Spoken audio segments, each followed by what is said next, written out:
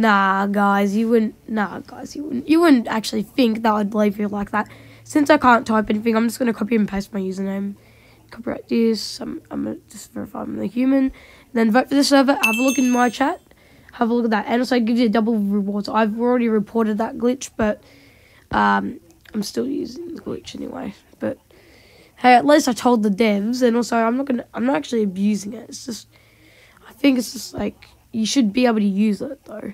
It's it's just a little bit of a cheat though, I reckon, but like you know what I mean. Alright, so this is another one you could do. You could just go like boop. And who who who even cares to read the policies anyway these days? I know so many people that do that. I do read some. Okay. Just like images with motorcycles. I think that one's it. No, no, no. I'm not that dumb.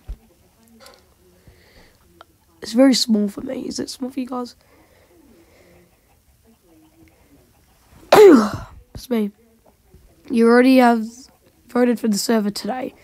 What? Oh, in one hour. One hour? Ah, doesn't matter.